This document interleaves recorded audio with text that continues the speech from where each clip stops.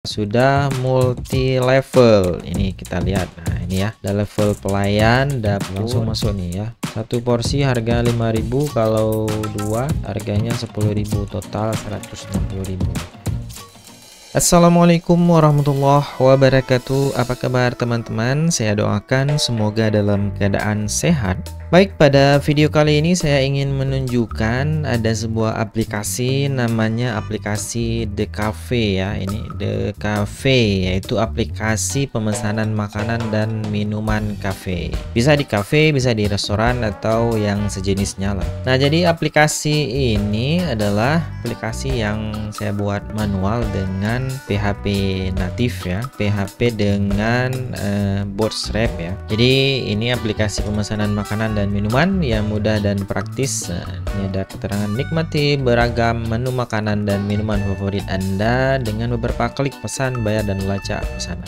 Nah, jadi sudah ada beberapa menu ya seperti ini. Ada profile, ubah password ya. Ini profile, kemudian ubah password. Nah, ini juga sudah multi level. Ini kita lihat. Ya, ada level pelayan, dapur, admin, pelayan, kasir ya. Kalau mau kita tambah kita nanti bisa pilih di sini ada owner atau admin kasir pelayan dan dapur ya. Nah ini di halaman dashboardnya ya. Ini dia dashboardnya ada menu-menu ya. Ini menu ini sesuai dengan daftar menu yang diisi di sini. Jadi nanti akan tampil di dashboardnya.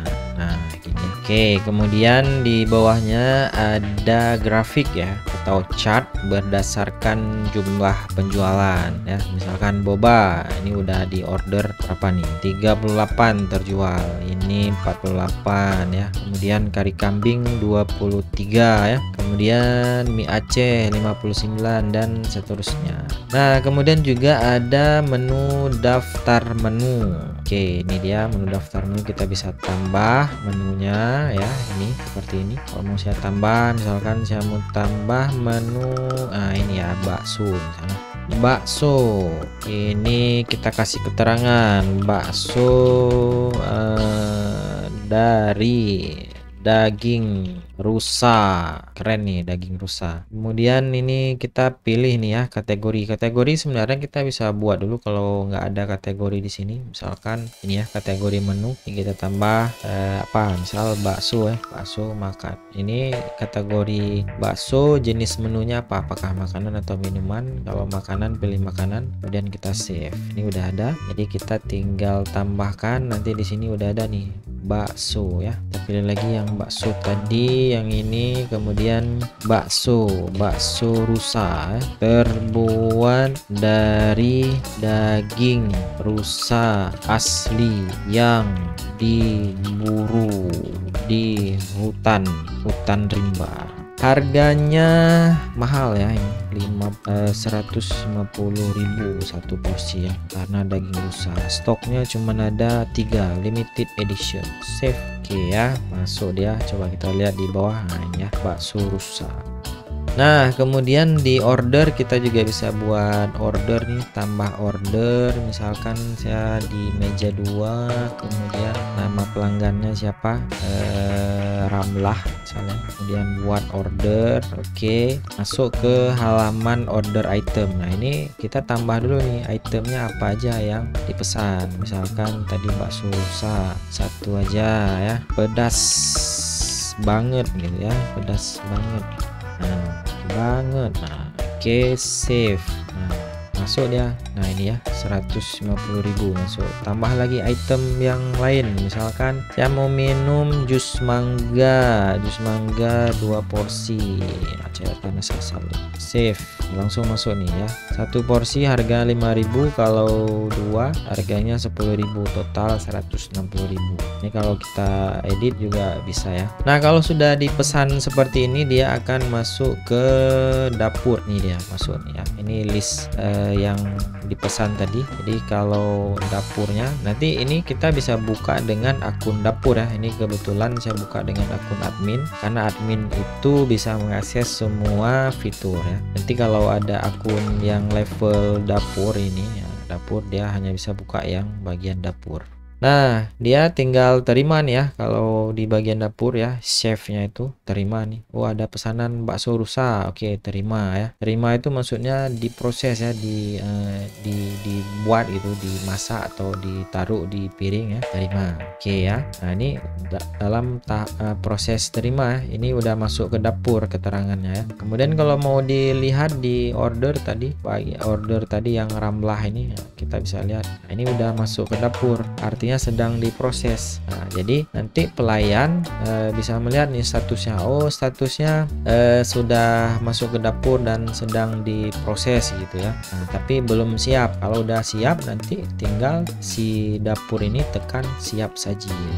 Siap saji. Kalau udah tekan siap saji, si pelayan nanti tinggal mengambil ya. Jadi kalau kita lihat lagi di sini, oh udah siap saji. Ya, oke, okay, si pelayan datang nih ke dapur untuk mengambil e, bakso rusa ini gitu ya teman-teman nah kemudian yang berikutnya gitu juga nih nah, tinggal terima ya oke Nah di bagian order ini kita juga bisa langsung bayar ya. Jadi kalau mau bayar bisa langsung, tidak perlu harus uh, siap saji dulu. Misalkan nih langsung kita bayar. Bayar tinggal kita masukkan nilai mata uangnya misalkan uh, 666, 6.600 ini harusnya nggak cukup ya kita bayar.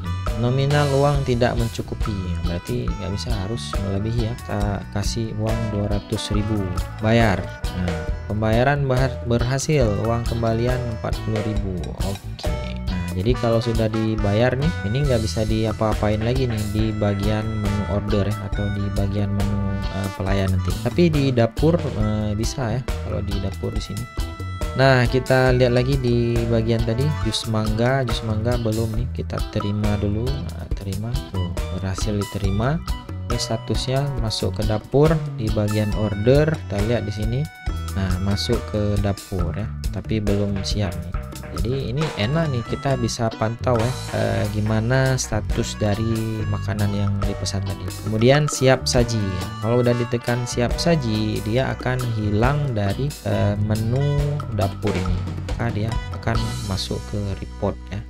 Di report di sini ada ini ada beberapa fitur lagi ya yang lainnya misalkan apa lagi ya yang edit ini tadi belum saya tunjukkan ya ini bisa edit ya. Kemudian nah coba kita lihat yang bagian ini.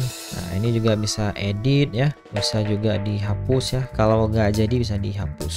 Nah Oke, hmm, itu untuk kali ini ya. Bagi teman-teman yang mau coba aplikasi ini bisa langsung akses ke sini ke thecafe.markazvirtual.com ya. Nanti teman-teman bisa langsung lihat di sini bisa menggunakan akun ini ya nah usernya admin at admin.com passwordnya password url nya virtual.com bagi teman-teman yang mau coba membuat aplikasi ini ya dari awal sampai akhir ya saya sudah buat tutorialnya. Insyaallah itu pasti bisa ya karena saya buat tutorial yang sangat detail sekali dari bagian uh, awal sampai bagian akhir seperti ini ya. Jika mau belajar teman-teman bisa masuk ke YouTube ya di channel markas virtual ya markas virtual.